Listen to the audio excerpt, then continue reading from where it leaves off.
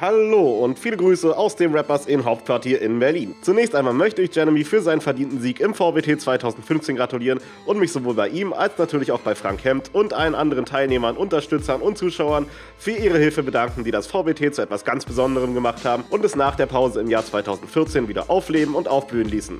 Ich hatte dieses Jahr wieder richtig viel Spaß am Turnier. Mich erreichen etliche Fragen, wie es nun mit dem VBT weitergehen wird und auch was in naher Zukunft von Jeremy zu hören sein wird, interessiert sicher viele brennend. Darüber möchte ich heute so gut wie möglich informieren und eine kleine Überraschung gibt es am Ende auch noch.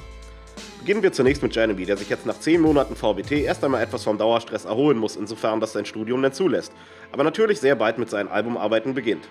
Mit der Reise nach Miami warten wir noch bis zu den Semesterferien, denn trotz unglaublichen Rap-Talents meint er auch noch etwas Anständiges lernen zu müssen.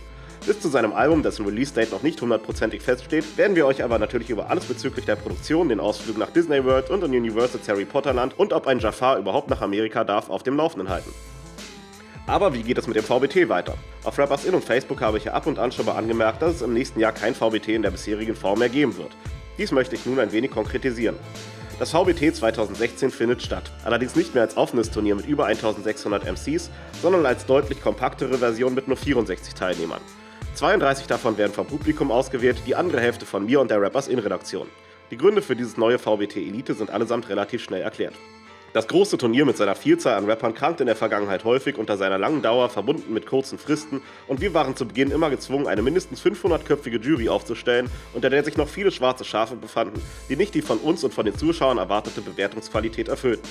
Ein kleineres Turnier wirkt diesen Problemen entgegen und bietet uns die Möglichkeit dafür an anderen Stellen noch viel zu optimieren und mehr auf die einzelnen Teilnehmer einzugehen. Zudem können nun endlich mal von Beginn an alle Runden direkt hier auf dem Rappers In-Channel zu sehen sein. Allerdings war mein Credo auch immer, dass sich wirklich jeder bei uns im Battle beweisen können soll. Daher wird es für alle, die einfach nur mal Lust haben, hin und wieder zu battlen, ohne sich dem Stress eines ganzen Turniers aussetzen zu wollen oder die es nicht in das editäre VBT schaffen, ab nächstem Jahr zusätzlich noch eine Video-Battle-Liga auf Rappers In geben. Hier kann man jederzeit und ohne große Umstände einfach ein Battle starten. Ähnlich wie in vielen Sportarten Sportarten soll es hier drei Ligen geben, mit ständigen Auf- und Abstiegen und der Möglichkeit, sich für das nächste VBT zu qualifizieren. Das System selbst wird sich von der bekannten und großartigen Audio-Battle-Liga RBA jedoch etwas unterscheiden.